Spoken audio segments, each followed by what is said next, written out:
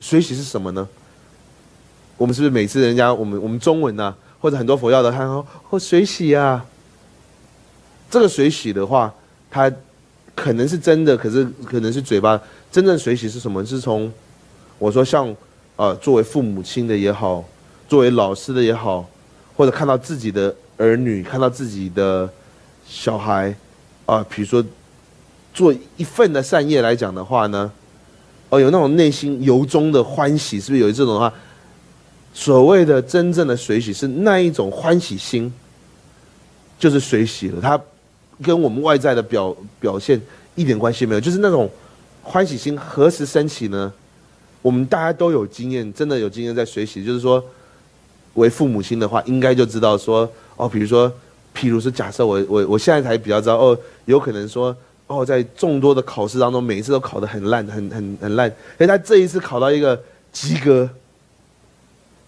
是不要说搞高呃名列前茅，而是只要考到及格，是父母亲就有那种的，那种哦非常欢喜的那种那种心的时候呢，这一种的欢喜心就是真正在自己内心升起一种随喜了。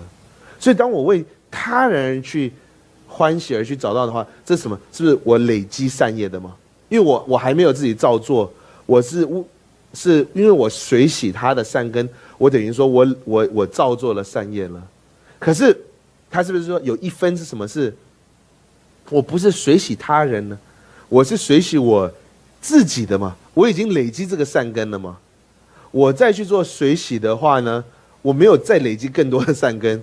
可是我使什么？我使我把刚刚或者我以上我往昔所造作的这一切的善根，不管说是现在也好，未来也好，过去也好。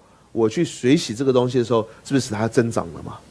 所以在水洗，它为什么说有分两两分嘛？